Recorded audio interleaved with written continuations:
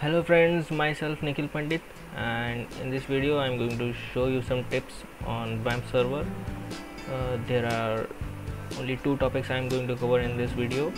One is how to change time zone in your wamp server and for php and the second thing is how to change the language of error shown by php myadmin or your uh, mysql error shown in different language so first of all how to change the time zone of php in your wamp server. So start your wamp server. Here is my wamp server online and it is up and running. Just left click on it and go to php php.ini hit ctrl f and search for date dot time so you will reach this line date dot time zone is equal to asia slash kolkata as i'm in india so this is the only time zone available for india asia slash kolkata might be mumbai or delhi available but i'm not searched this works for me asia slash kolkata and you will get many time zones on php's website. Here is the link. I will share this link in the description below. And this is a huge list for america's time zones various america slash los angeles sao paulo and many more. So you can set that particular time zone on this line to change the time zone for the system which you are going to use as a server for your project yeah.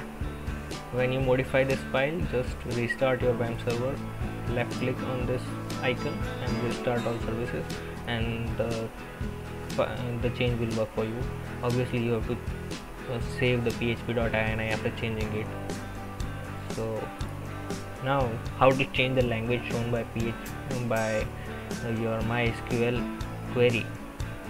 So just go to mysql my.ini control F and search for LC dash messages even messages or even mess will work. LC dash mess. So I got uh, three lines above. One two three okay three lines above but you just have to change the thing here.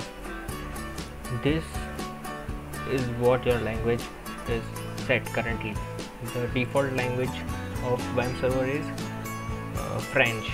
And I have changed my language to en underscore GB which is for English UK Great Britain. And you can change it to en underscore US and there are various codes available like en underscore US and en underscore GB are two codes which I know. I have not searched more much more about this. You can google it and you will easily find your language your suitable language. Just change according to that code and save the file restart the server and you will uh, see the change instantly.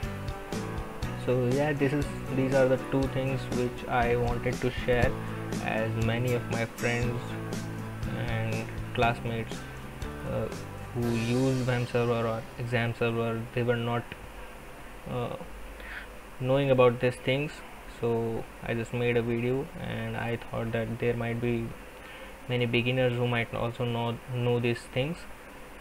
So yeah. Thanks for watching the video. Goodbye